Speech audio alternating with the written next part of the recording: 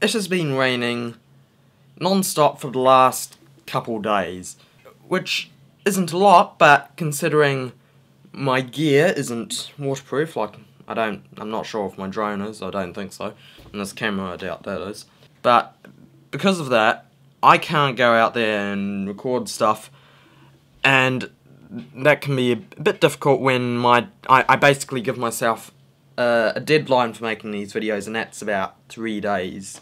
So from this video, there'll probably be a, a week, maybe week and a half gap between this one and the next video.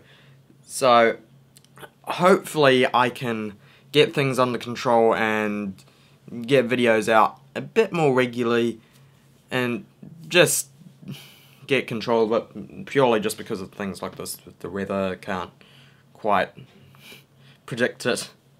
I could do things in the house, but I'm sort of running out of things to do that I haven't done already in the house.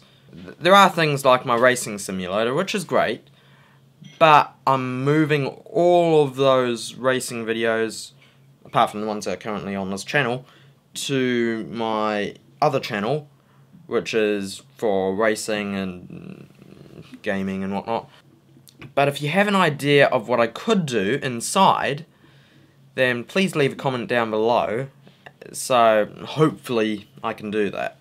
But I, I will be working on my racing gaming channel for a while as well because um, I haven't really been putting a lot of stuff on there.